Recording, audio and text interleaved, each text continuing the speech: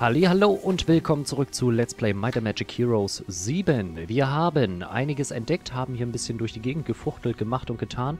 Das einzige Problem, das ich jetzt habe, ist, dass ich fast durch bin. Ich habe eigentlich jemanden besiegen wollen, der sich hier auf dem Weg zu unserer Festung gemacht hat, so ein blauer. Und der Blaue war doch tatsächlich einer von denen, die wir besiegen mussten, um einen Auftrag zu erfüllen. Damit ist brennender Stolz durch. Wir brauchen nur noch gierig und grimmig, das heißt 50 Drachenstahl, 50 Schattenstahl und 50 Sternsilber. Das Sternsilber haben wir schon, Schattenstahl und Drachenstahl sind die einzigen Dinge, die uns noch fehlen, sowie 100.000 Gold, aber das haben wir auch innerhalb von 10 Tagen. Nicht mal. Also, tun wir jetzt so, als wenn wir noch großartig durch die Gegend laufen und ein bisschen was erobern wollen und anschließend beenden wir diese Mission. Endlich, es wurde aber auch Zeit. Die Grünen, die hauen wir jetzt erstmal weg, weil mir die total auf den Senkel gehen. Ah, hintenrum. Okay, das kriegen wir auch hin. So, das ist die erste Festung. Ach so, nee, das ist bloß was zum Leute einsammeln. Nee, das brauche ich nicht. Ich brauche eigentlich die Festung. Wo ist die denn? Ist sie das? Das ist sie. Und die ist leer. Da steht nicht mal jemand. Ah, ist ja megamäßig geil. Die Festung gehört uns. So schnell kann es gehen, Leute. Nummer 1 haben wir. Nummer 2 müsste hier oben irgendwo sein. Auf geht's, ab nach oben. Denn da sehe ich noch irgendwas Grünes. Das muss noch dem Grünen gehören. Und wir lassen einfach die Tage vergehen und gewinnen einfach so. Auf geht's. Da ist das Meisterdomizil und da sind die bösen Leute, die wir noch besiegen müssen. Kriegen wir das hin? Werden wir es schaffen? Werden wir gewinnen? Jetzt laufen sie schon wieder an mir vorbei. Wollt ihr mich verarschen oder was? Tod und Verderben. Diesen dummen Reitern. Ruhig, ganz ruhig, ganz ruhig, ganz ruhig. Auf geht's. Macht mal eine Autoschlacht, da habe ich keinen Bock drauf.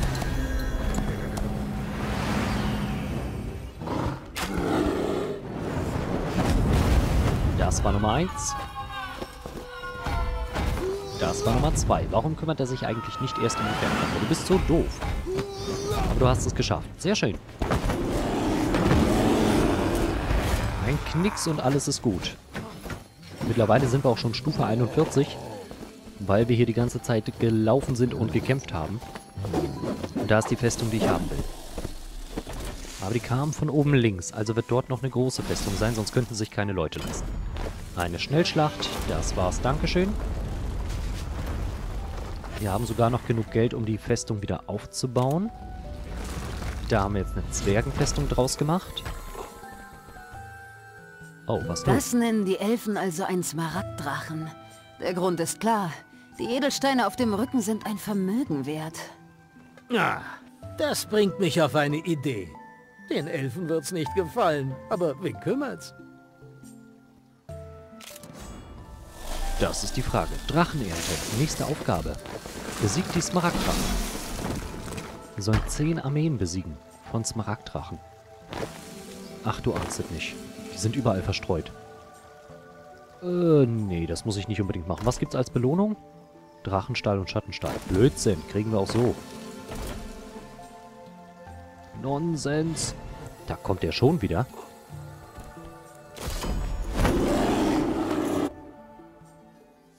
Ist nicht. Du wirst hier nicht vorbeikommen. Du kommst nicht vorbei.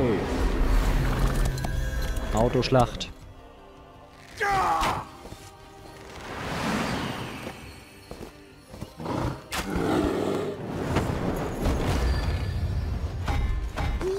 Na also, geht doch.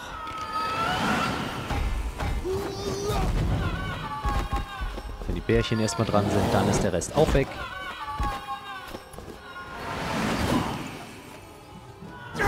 Okay, das war's. Gewonnen. So, weiter. Was ist das? Schon wieder ein Basisdomizil brauche ich nicht. Hier muss irgendwo eine Festung sein. Da vorne ist auf jeden Fall ein Smaragddrache. Und wir haben es gleich geschafft. Wir haben gleich gewonnen, wenn das so weitergeht. Du kannst bleiben, wo du bist. Du auch. Wir lassen einfach die Zeit vergehen. Oh, er haut ab. Da oben muss die Festung sein. Oder ist das wieder nur eine Ablenkung? Es war nur eine Ablenkung. Ich könnte euch alle in der Luft zerreißen. Da ist die Festung. Jetzt hole ich mir erst die Festung. Das ist mir zu doof. So, die gehört uns. Und anschließend bist du dran, Yvonne.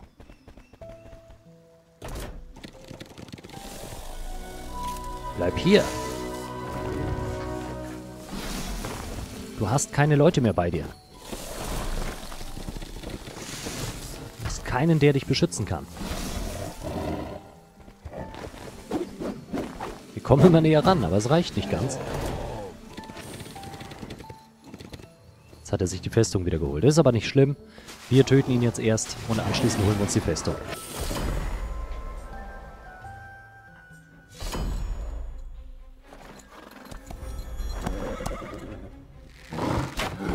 Go, go, Power Ranger.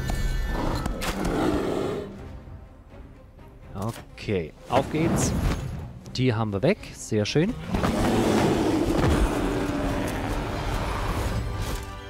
Sehr, sehr gut. Und rein in die Festung.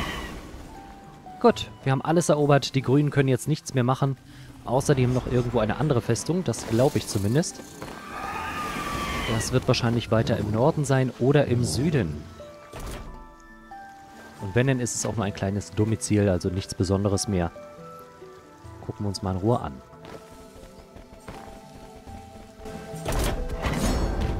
Oh, geschafft, wir haben gewonnen. Endlich. Ihr kennt die Redensart, wehe dem Besiegten? Leider war dies nie zutreffender als unter Hathors Herrschaft. Nachdem er jegliche Opposition besiegt hatte, fühlte sich Hathor unüberwindlich. Sein Blick wendete sich sofort noch größerer Beute zu.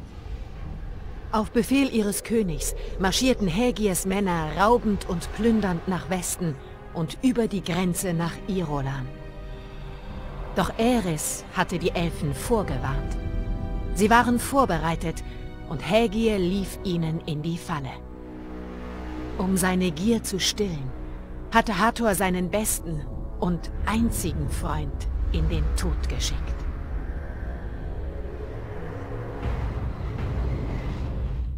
Was glaubt ihr, wie Hathor auf die Nachricht reagierte, sein bester Freund sei gefallen? Er lachte und sagte, nur die Starken würden überleben. Wie ihr sagtet, Schwäche durfte er nicht zeigen.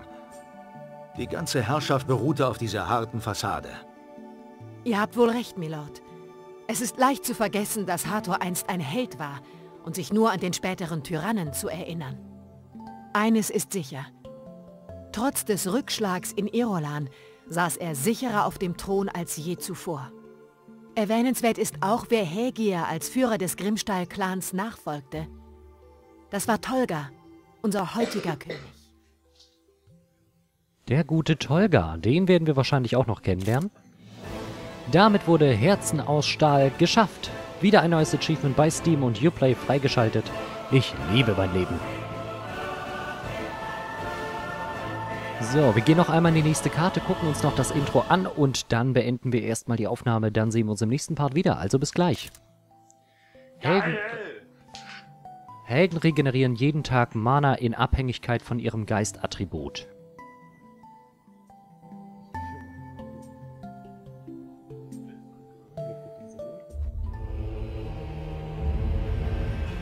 So begann Hathors Herrschaft. Und das Feuer seines Willens schmiedete ein neues Grimmheim. Ein Grimmheim aus kaltem Stahl, das Schwäche nicht duldete und wo nur die Stärksten überlebten. Ein Grimmheim, wo Macht vor Recht erging. Wenn die Zwerge etwas brauchten, versammelten sie die Kriegstruppen und holten es sich von den Nachbarn. Diesen Teil der Geschichte kennt ihr bereits, Lord Ivan. Euer Volk hat die Überfälle weder vergessen noch vergeben. So wenig wie die Elfen in Irolan. Doch da tobte schon eine neue Schlacht. Die Schlacht um die Seele der Zwergenrasse. Das erste Zeichen war im großen Arkad-Tempel zu beobachten, wo das heilige Feuer erstarb. Dann erloschen die Vulkane, einer nach dem anderen. Im nächsten Jahrhundert verwandelte sich Grimheim in eine eisige Einöde. Für einen jungen Runenpriester namens Kari gab es keinen Zweifel.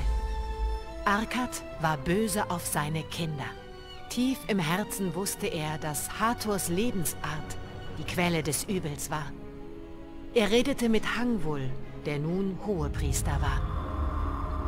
Doch Hangwul, der Hathor das Leben verdankte, hörte nicht auf ihn. Hatte Hathor Grimheim nicht vor dem Untergang bewahrt? Die Vorstellung, Arkad könne so einen Helden ablehnen, war lächerlich.